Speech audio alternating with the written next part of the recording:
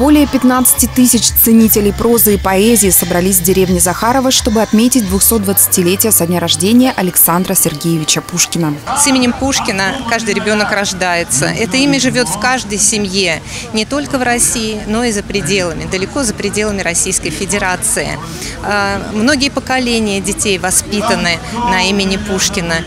Пушкинский праздник традиционно приходится на первое воскресенье лета. Посмотреть место, где литературный классик провел свои юные годы, приезжают даже иностранные гости. Сегодня у нас широко представлены фильмы о Пушкине, э, исторические очерки, посвященные творчеству Александра Сергеевича Пушкина, традиционные игры детства. Здесь была вообще пустыня. А даже этого домика, который считается, что он 19 века не было, здесь был просто фундамент дома бабушки.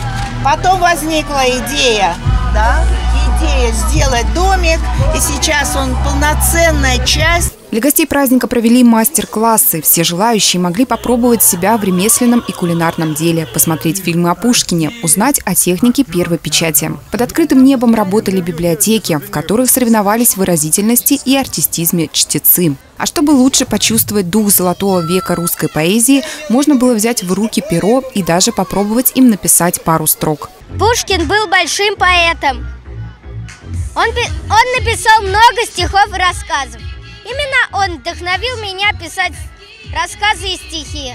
Захарова поистине царила пушкинская пора. Дамы и кавалеры в костюмах 19 века. Интерактивные площадки, стихи и проза, музыка и песни. Не было скучно и маленьким гостям праздника. Они с удовольствием участвовали в играх, которые когда-то любил маленький поэт. Смотрели театрализованные постановки и слушали рассказы о детстве Пушкина. Не первый раз на таких праздниках. И, конечно, очень радует, что очень много народу приходит всегда. Тем более сейчас, когда 220 лет Пушкина – это большая дата не только для нас, да, а вообще в масштабе всей страны. Мы с большим удовольствием ждем это мероприятие, потому что это поляна сказок, организовывает такое количество мероприятий для детей и взрослых.